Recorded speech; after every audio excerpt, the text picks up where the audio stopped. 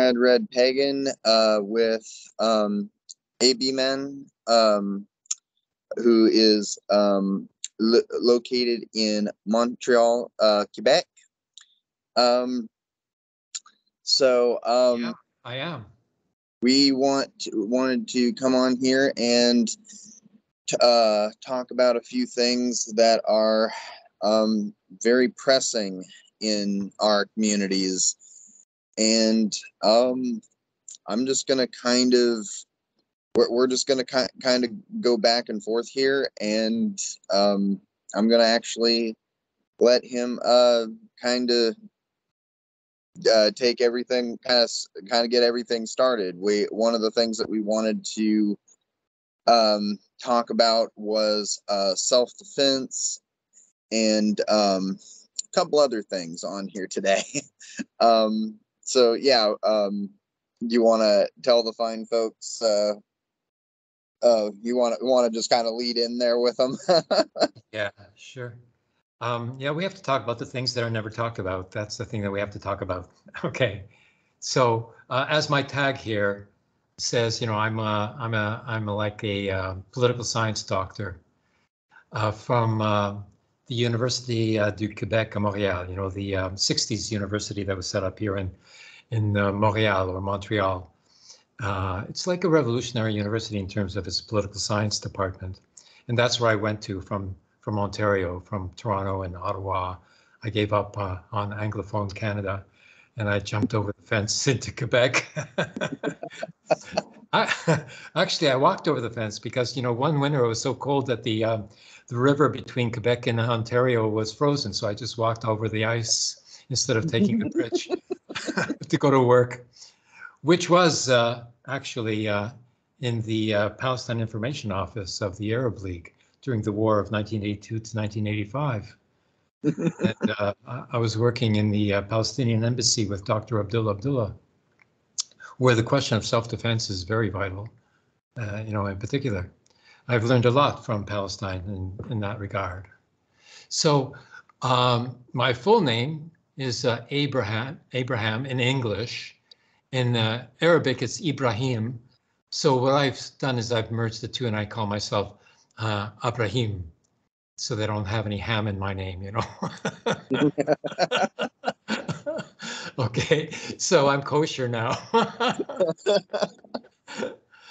uh, I'm sorry I don't have my video uh, going. You know, somehow it's blocked. You know, even though my video icon says that it's alive, but somehow between um my camera and uh, your computer, somehow there's something that has stopped it from transiting the the uh, ether, so-called.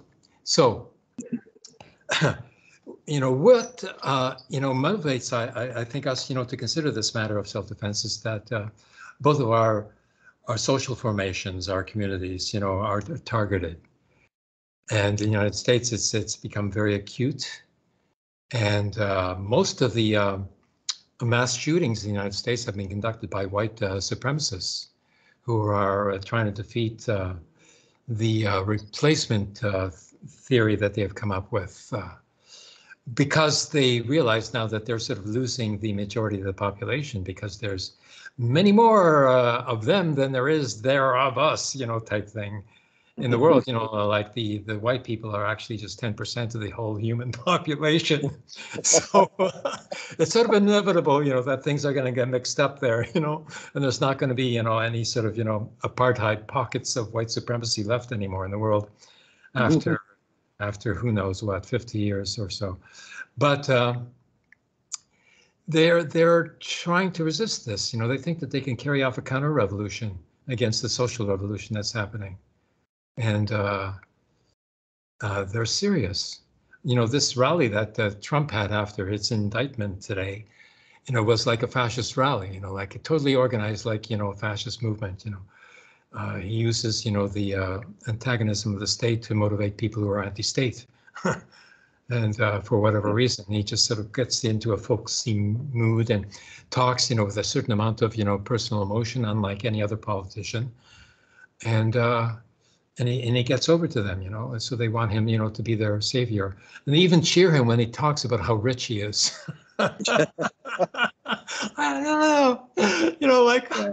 you know, like how does he do it? You know, it's Yeah, incredible. even though, yeah, I think at one point he, I, um, I think I looked into it and he's got supposedly he's supposed to have a net worth of like two billion dollars, but he's got like four billion dollars in debt. So in actuality, the man actually has no money, which is why he has to rely on his supporters for, uh, you know, for you know donations and because you know at the end of the day the man is a con man but even on a bigger picture the man has you know largely followed the mussolini playbook you know pretty much to a t so but um And yeah isn't no that so, the, and isn't that the whole story of the United States of America as a whole?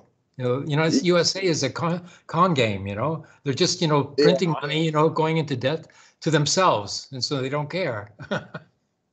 well yeah like the whole like you know the the united states credit system is basically you know uh, it, it- it's just a complete you know sca- uh, scam. And the whole idea of the stock market is basically just you know you know a form of gambling.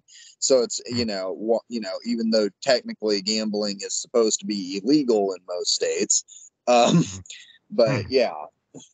Mhm, mhm, mhm. so. Well, So um, there is, uh, I guess the you know uh, I listened to Jason Jason Andrews, um, um, uh, Rebel, uh, uh, Comrade Rebel, uh, Mouse Rebel, and uh, it makes a lot of yeah. sense, you know, to describe, you know, the uh, the case of uh, Andrew who took uh, his revenge on the school that uh, may very well have, you know, caused him to go into trauma, and uh, yeah he seems to have targeted the teachers in particular. Got three teachers, and uh, maybe those are the teachers that were the ones who did the trauma to him in the first place. So who knows? But uh, nonetheless, you know, like even indigenous people here don't, you know, go berserk and and take it out, you know, on uh, on the priests, like uh, like happened to some extent, you know, in the Spanish Revolution when some anarchists, you know, took out some priests, and this became a big propaganda, you know, benefit, you know, for the counter-revolution. Yeah, and I don't know if a lot of people like are quite aware of the the total situation. Um, from what I understand, yeah, there was um, uh, potential um, uh, sexual abuse um, that this uh, individual suffered uh, while attending this school because this was an evangelical school. So you know, much like you know a lot of you know uh, churches and stuff like that, there's going to be you know there's gonna be some very sick and depraved people that are gonna prey on children there. Um, but that by no means excuses what this individual you know carried out. Um, but it is one of those things where you know if we're also if we're going to be holding accountable this person it is important to remind people why this person was driven you know to you know the mental state that they were. And you know it it, really also points out a, another interesting fact about american society that while they want to we're a lot of people want to call trans people and just lgbt people in general things like groomers etc um it's they make up only point i believe the statistic was only 0.7 percent 0.7 percent of the actual sexual offenders in the united states. And the rest of those have been you know are very much statistically cis people that are Mhm. you know committing these crimes so you know you're more likely to be molested by a cis white you know male parishioner minister priest whatever you know, Mm. than you are by a trans person. People want to pass anti-drag laws in a lot of these different states and stuff like that because they somehow think that dra- you know uh, drag queens are you know cor- you know grooming and molesting and corrupting their children. No, they're just trying to read stories and entertain people. It's not anything sexual. It's not in you know it's you know it, it's supposed to be something warm and inviting and and and fun for people to to you know see and you know And it gets you the know attention maybe of the children as well. I mean, they pay attention because this is um, some new person. They've never seen a person like this before. So they're interested. They want to know what this person has to say, of course. Natural. And- But uh, and the thing that yeah, I think there's yeah, a the thing yes. Oh, sorry. I was just going to add one more thing too. Another thing that I really that I really find sad about the entire thing is that these laws are in nature meant to be absolutely draconian. They are not not just meant to protect the children. If they actually gave a damn about protecting the children, they wouldn't be, you know, these same people would not be trying to essentially lower the age of consent, the you know the age of uh, the the marrying age, and stuff like that. They're basically legalizing child marriages in, well, for instance, the the state of Tennessee. Yet they're trying Hmm. to pass a drag ban, which let's call it for what it is. It is a trans ban, and the, a similar law is being is trying to be forced through in uh, Texas. Um, I believe Florida has one too. Montana, I've been hearing about as well. Basically, these bills state within them that it basically criminalizes male and female impersonators, which we all know, Oh, yes, I've heard about that. Yeah, yeah. which yeah. basically we all know translates to trans people. So in the case of myself, I would not be able to walk down the street of Nashville or Memphis without potentially being arrested and charged as a sex. Oh. Wow. And at the same time, they're parading out their little daughters out in costumes, you know, in um, in in show trials or something like that. I don't know what they call them even. Yeah. Bizarre.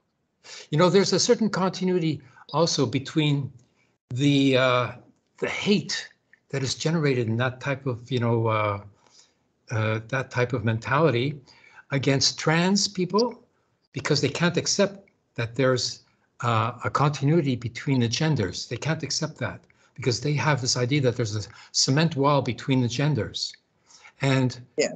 uh, and, and in case of Jewish people, we're put on the other side of the wall because uh, Jewish men are supposed to be effeminate. They're not real men, you know, like a Christian man would say. You know, a Christian white man would say that he's a real man, and you know, a quote unquote Jew is not. a Jew is a Jew. He's not not a real man, you know, that type of thing. Okay.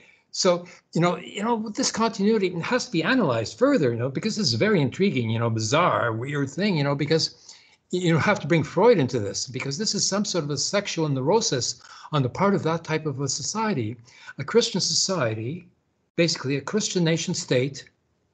And I could continue on this and say, which on the one hand claims it's you know more secular, more liberal, and more liberated than any other society in the world, especially the Oriental societies, which bans abortion, which is the most important issue for women's liberation, even while Islam does not ban abortion.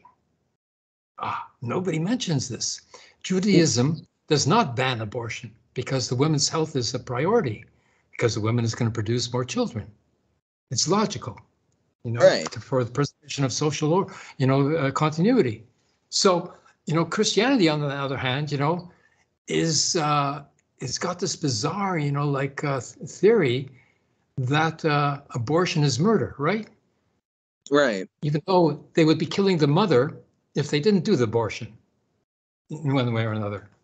So, all of a sudden, you know, the mother is not worth much, you know, even though she's the one who's making the baby in the first place, you know, because right. the man is the one who's more important. The patriarchy says that the child is more important to the man than the woman is, in effect, by saying that abortion is banned. This is very, very, you know, like insidious. It is. And it's also very interesting how, when you consider the idea of how transphobia kind of plays into a lot of those a lot of those roles a lot of people that that that call them so themselves so-called feminists and stuff like that um, are the very same people that my uh, you know my community calls TERFs, or as I like to refer refer to them at the technical term is trans exclusionary radical feminists, but I refer to them as what they truly are trans exclusionary reactionary fascists because they are because these people are not feminists. They do not actually believe in women's liberation. In fact, a lot of these people, J.K. Rowling, for example, they don't actually care about you know abortion rights or anything like that their main concern is continuing to prop up you know this class division the you know the uh the whole thing with um yeah it, it's the the whole just trying essentially keeping elements of patriarchy in place and as i've stated many times before it's one of those things where it's kind of an all or nothing sort of a thing. You either are for women's liberation, which means all women and all and the idea of women's rights, you know, or you don't. And hmm. and unfortunately a lot of these um yeah, a lot, you know, a lot of these, you know, reactionary fascists, you know, they don't actually care. They and that's and so the idea of even abortion rights they'll stand there on their high horse and claim that they're you know in favor of you know my body my choice. But at the end of the day they're no different than any other right wing conservative. Yeah. Yeah. So i mean like they even go after they used to go after abortion clinics. Maybe they still do you know they and they try to you know assassinate doctors and such dr morgentaler yeah. made the breakthrough here in canada and and got an abortion bill passed. Canada has the best abortion law right now, I think. But uh, what do we do about it? You know, that's the question. Okay, so I think that any sort of public event that we have, we have to have some sort of security all the time, each time. When we are known to be coming to a place in, in mass, there has to be somebody who, amongst the militia, um, amongst the um, the guard, the uh, security for the demonstration or a meeting has to be armed, at least mm-hmm. one. You know, in the case in Phoenix, when the uh, reconstruction of the synagogue was massacred and there was 27 victims and five comrades of the Jewish Bund uh, who were there and they were killed, Hannah, Hannah Toff, one of the comrades of the Jewish Bund, she had arms at home and she didn't bring even one with her because I don't know why. They were sort of, you know, worried a little bit about it. They wrote about this, but uh, she didn't bring even one arm, it would seem.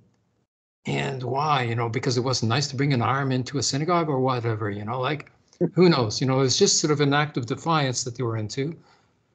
Okay, they did it, and they paid for it. You know, but it still is an act of bravery and uh, martyrdom. And their uh, writings are coming out in a book that uh, we've just compiled together with an introduction. The introduction to the book, the first book, is by uh, Comrade Black Minister 13. This is going to be wonderful. um, yeah. Um, when it comes down to the idea of, of armed liberation, it's actually something that I've uh, spoken in, in a passing in a lot of in a over the last year it's part of just frankly as you know as a marxist i refer i often refer back to the idea of you know an armed proletariat. And this is something that I try to educate and bring to the trans community and to the LGBT community as a whole, because out of there are so many marginalized groups that are out there from people of color to indigenous people to you know religious minorities to gender and sexual minorities that one that the very key thing is is after events like this there's always going to be major backlash that comes out of it. And i stated after the nashville uh, shooting that the, that now is not the time for trans people to be advocating getting you know rid of the weapons because all you're doing is incentivizing and enabling the people that already oppress us to continue to oppress us more what we need to be doing is actually arming ourselves and actually learning to defend ourselves against the fascists Yeah. that is why I and there is a there was actually a couple of um a couple of memes that I have posted on my social media. One of which, and both of them have the trans flag with um, with a rifle that basically states um, the first one stating uh, armed minorities are harder to eradicate. That is just a fact. People that are that are armed who are already being oppressed stand a far better chance of gaining their their freedom from oppression than people that frankly do not have guns. As I have stated to people, I would rather die a martyr for my cause than die, you know, cowering in chains. And I'm also reminded of what Mao said, which is that political power grows out of the barrel of a gun.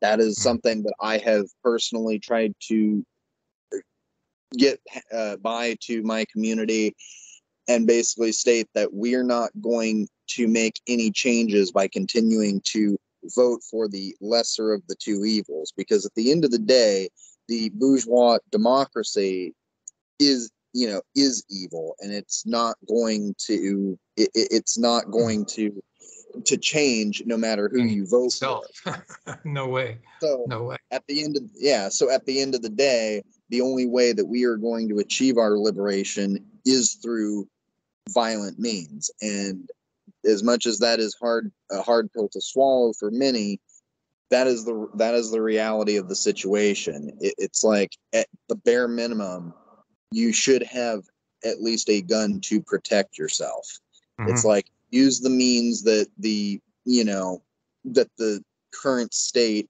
has to essentially defend yourself because at Mhm. some some point they will come and they will try to disarm you know they will try to disarm and further oppress these minorities and of course, i go after the minorities first, and they'll leave, you know, everybody else with their arms still in place. I mean, there's there's more than 300 million arms in the United States of America, and they're not going to give them up. You know, it's like so the ban any new arms means that the people who are being targeted can't get the arms to defend themselves. You know, so it doesn't work. It doesn't work at all.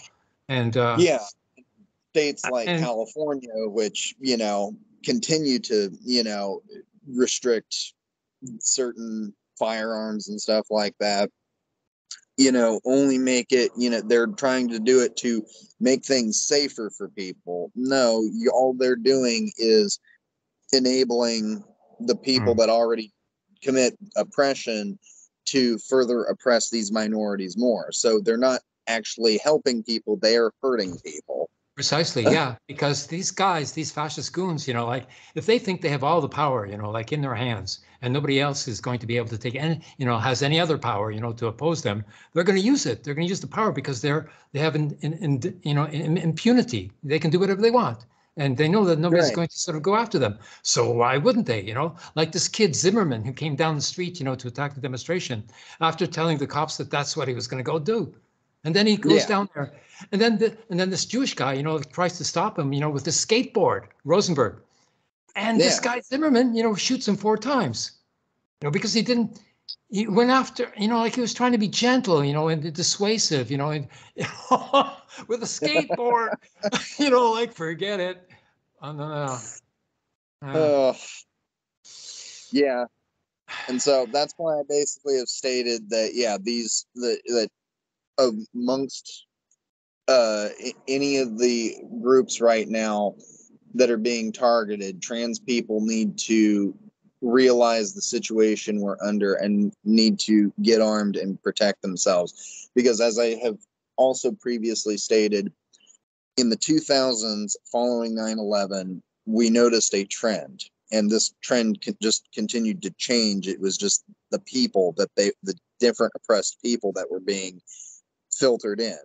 In 2000, in the 2000s, it was basically anybody that was Arab looking or Muslim that was uh, basically considered a terrorist. In the 2010s, that became let's I mean o- overarching it's Latinos, but it was um but more specifically Mexican and you know Mexican people were the ones being discriminated against and being called the terrorists. In fact, Donald Trump even specifically stated that he believed that they were drug dealers and rapists. mhm. And now in the 2020s, the new narrative is that the terrorists are trans people. And so it's you're, there's this recurring trend of who is the terrorist. And as I was speaking actually to somebody last night at work who is not a leftist, but you know, definitely is, you know, a bit more, you know, uh, more progressive than most. Um, he and I were having a conversation and I basically said, just take out the word trans or the word Arab, Muslim, the word the Mexicans or whatever it is, and put in the word Jew. Because because at the end of the day, it's the narrative has not changed since the And time guess of what the Trump did today? He referred to Bragg, the attorney general in, in New York, as being a Soros puppet, as being financed by Soros. He brought in Soros God. again. This is going to set off, the- you know, the Semitic attacks, you know, all over the United States. Maybe yeah, here the too. anti-Semitic dog whistle. Yeah, Yeah. Wow. yeah, it has not changed at all since you know since the time of the Nazis. I mean, even going for, long before the Nazis, but specifically from the er- the Nazi era going forward, the narrative has not changed. Trump is, is, just- is, is part of that slime. You know, he's the one who said Yeah. that he was proud of his German blood. German blood. yeah, That is, you know, like uh, there's only human Which- blood as far as I know. He's talking about his Yeah, German which tells you genes, you know, because his his father was German, you know. Okay, but you know, his children are are sort of a bit distant from that, you know, like you know, why make a big deal out of it? And uh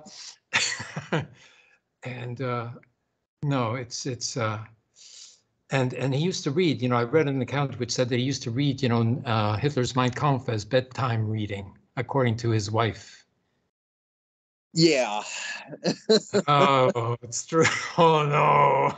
I have to take care of so this. yeah like like i said this man has you know it is following the you know is essentially following the mussolini or the hitler textbook to a t you know his whole red you know his whole rhetoric his entire ideology is based on you know nativism jingoism and frankly just american nationalism.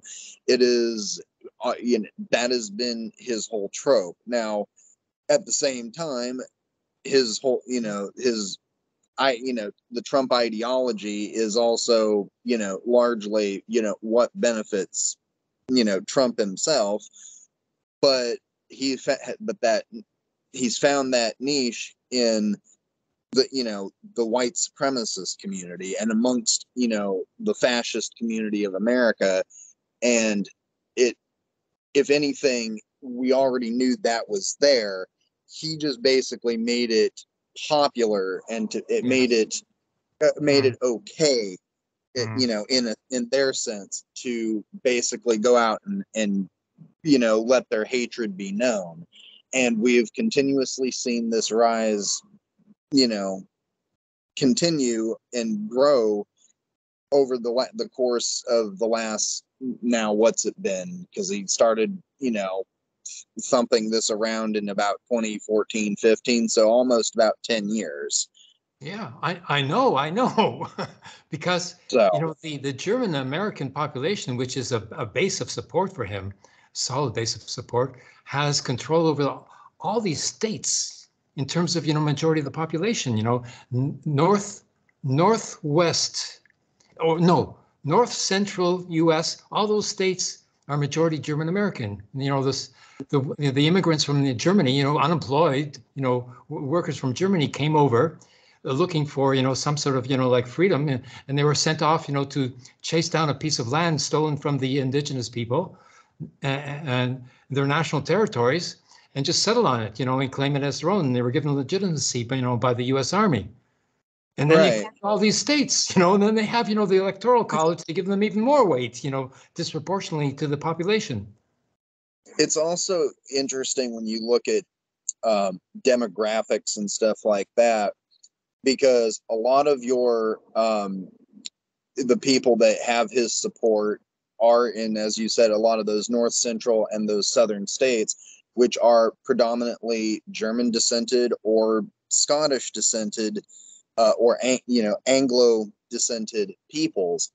Whereas the people that he typically tends to oppress and the ones that typically tend to lean more on the liberal, you know, to even leftist side happen to be people of Irish descent in a lot of ah. ways. You'll see that a lot in New England and even out here in the Pacific Northwest, there's actually a, you know, pretty sizable amount of Irish descended people, a lot of indigenous people, and those are so it's interesting how that power dynamic of history hmm. continues to also play its part in the growing rise of fascism in America. And so true You know. yeah yeah, Incredible. And if you look at the actual indu- military industrial complex, you know, the names of the companies, you know, the Mhm. names are German and Anglo, you know, half Yeah. half, you know. Oh, well. you know, the, yeah, the the the the age old names of the oppressors. Yes. and at the same time, the fascists will blame the Jewish people for profiting off of war.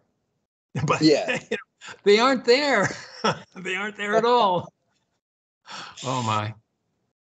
Oh, my. yeah, the it's so same sad. people that yeah, the same people that also, you know, make the claim that, you know, Jewish people uh basically just control all the banks and everything like that. And it's like, no, it's it's not just Jewish people. It- you know, it is just at the end of the day, it is just the capitalist class. You know, and most of these people actually aren't even Jewish. Most of these people, as we've stated, have been of German descent. Yeah, yeah. And you know, I mean, I suppose there are Jewish banks in in the United States, you know, but they're probably, you know, in the uh, in the in the areas of Jewish residents, you know, and their and their clients, Right. you know, are, are the Jewish community, you know, so it'd be logical, you know, just like we have a Portuguese, you know, branch of the uh, co-op bank here in Montreal.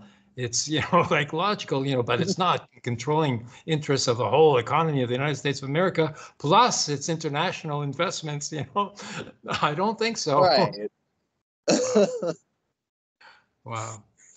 So um, this is good. This is a really good discussion, necessary, and I hope you know we um, help to educate people on how to defend themselves. And then there's you know bigger questions of what to do with the police, you know, like abolish, you know, and then you know having um, you know community uh, uh, community uh, self-defense units and all that sort of thing.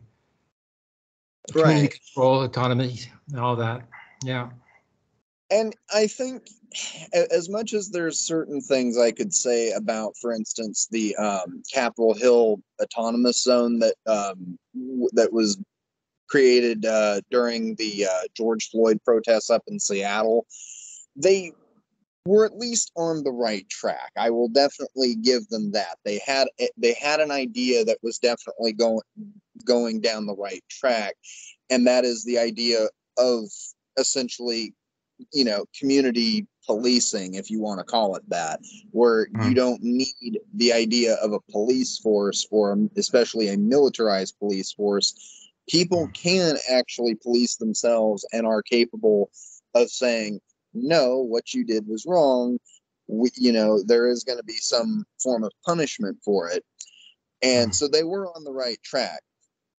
And there has been a growing trend amongst, um, Amer- you know, young, especially young Americans, um, who very much more statistically have started leaning more towards liberal or even leftist ideals um, after, as they start to realize, hey, the American dream, this whole idea of America, you know, of you know, you if you work hard, you can eventually, you know, you know, rise to the top.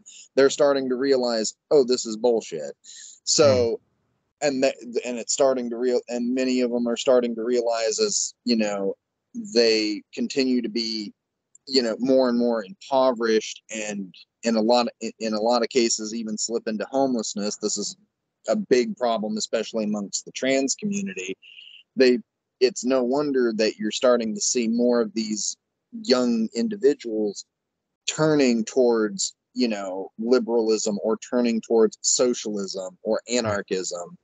Mm. um for, an, for example um, my partner who is non-binary actually um, for the longest time was basically for lack of a better term i would say was pretty apolitical but leaned more on the liberal to social democratic spectrum they Hmm. were uh, a they were what a bernie sanders supporter and nothing against bernie sanders but you know he still is you know he's The- Yeah, still he's just, a- just a starting point, you know, like he's no solution.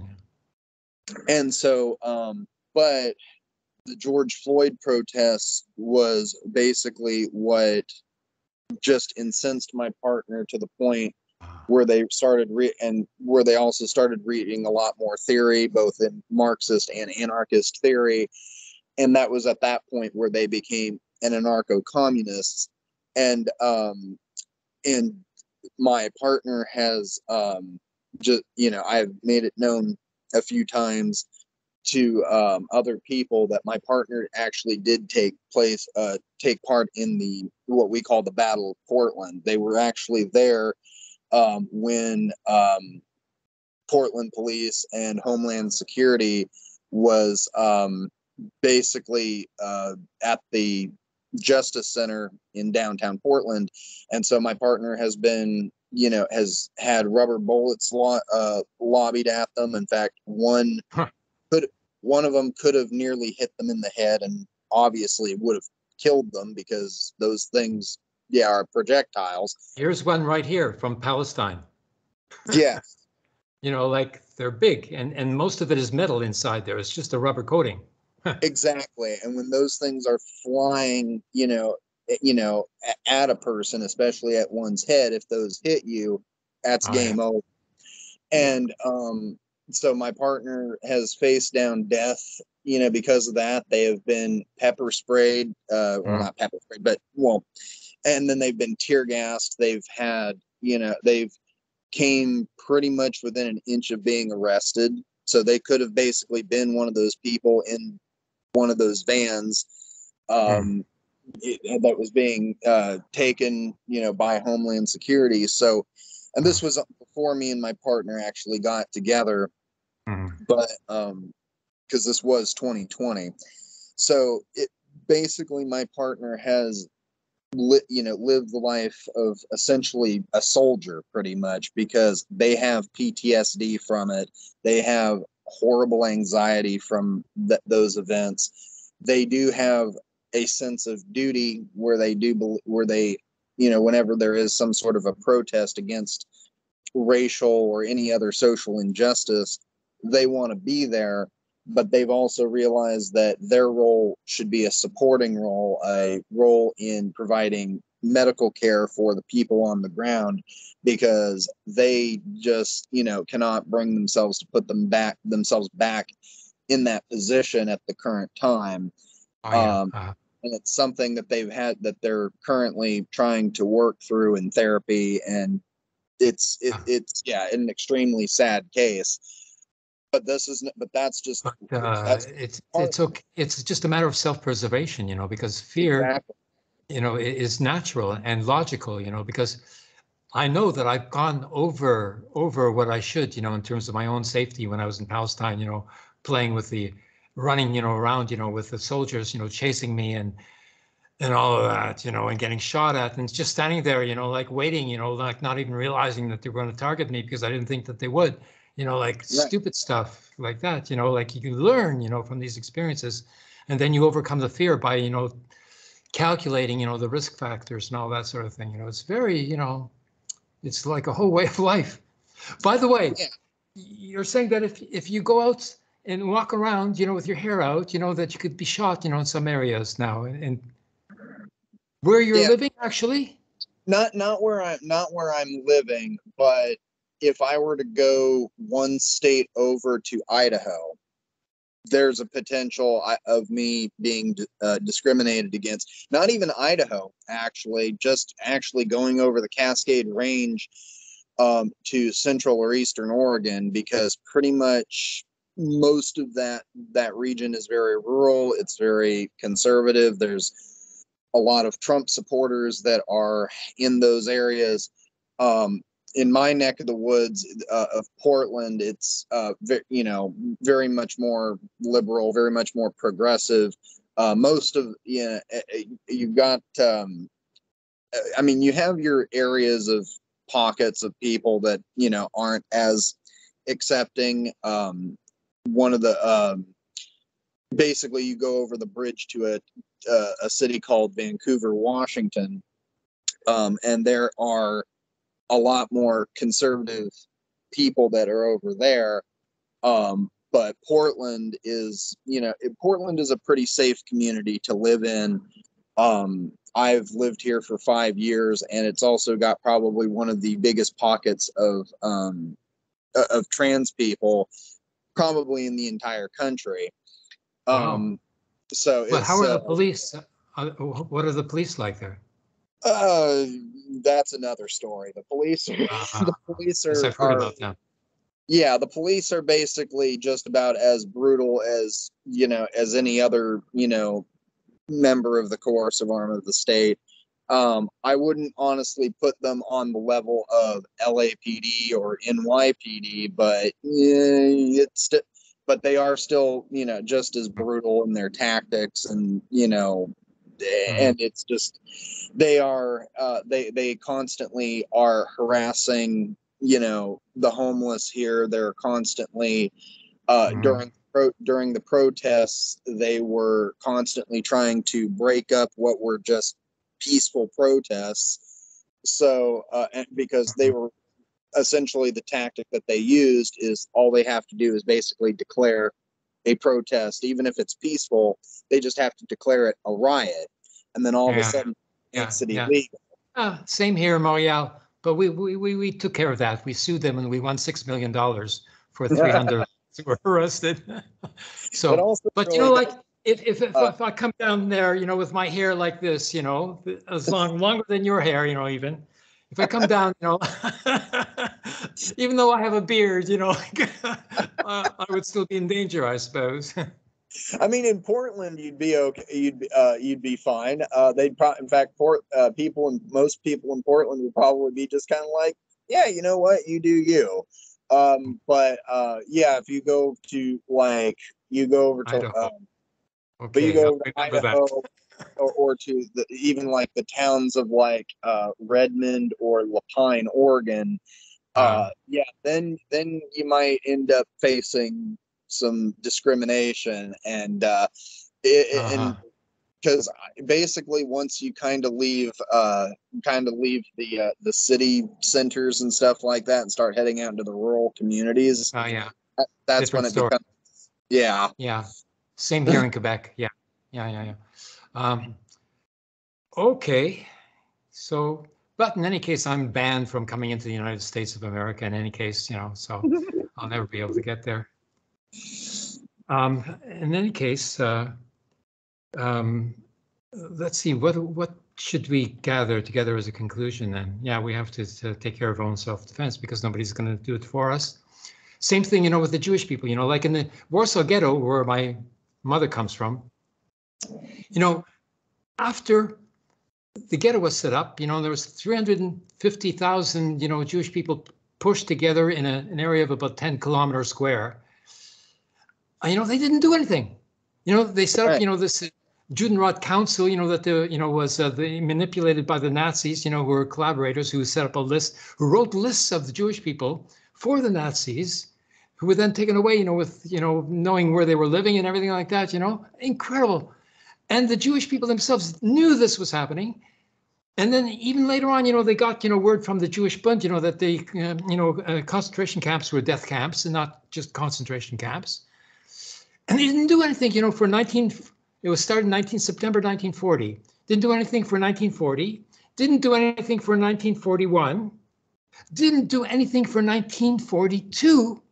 And then finally, when there was only like 60,000 left in 1943, they finally revolted and they stood off, you know, the Nazis, you know, for a month.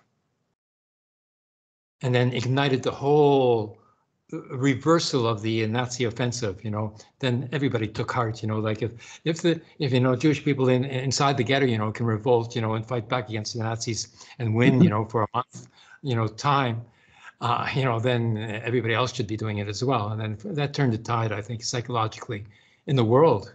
It was became worldwide phenomenon. Yeah, the Red Army finally, you know, pushing ahead.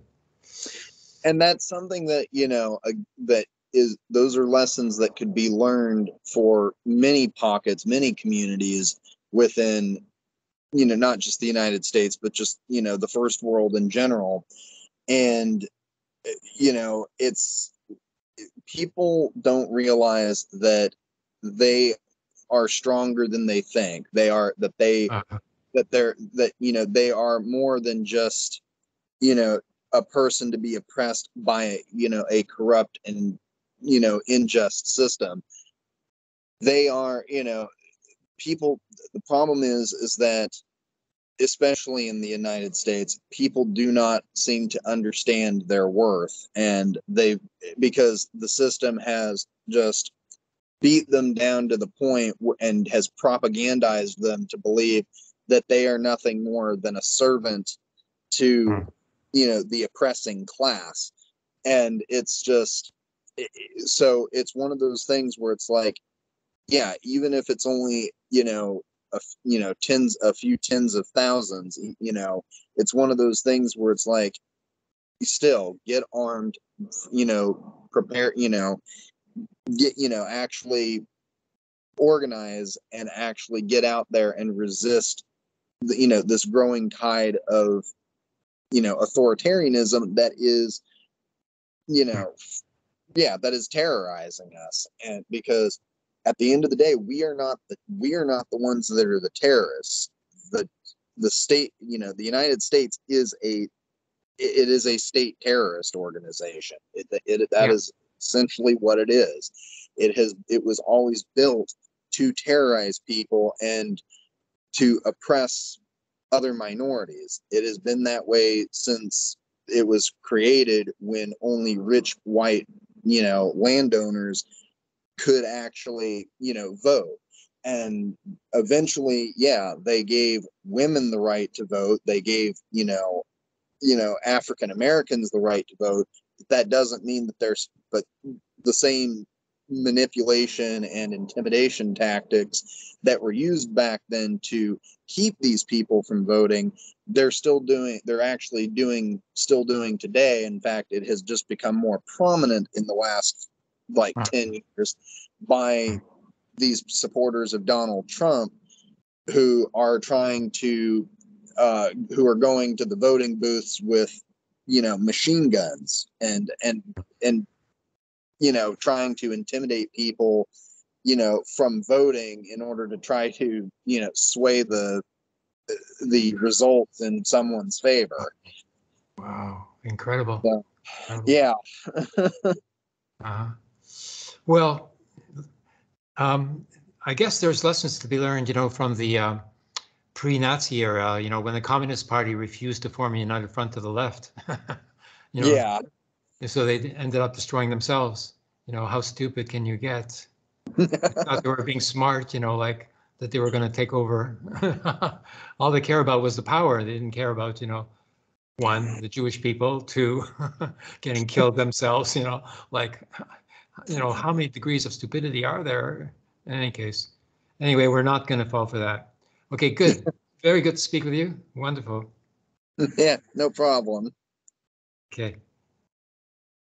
À la prochaine, as we say here in Quebec. Until the next time. Until next time, Okay, never again, comrade. never again.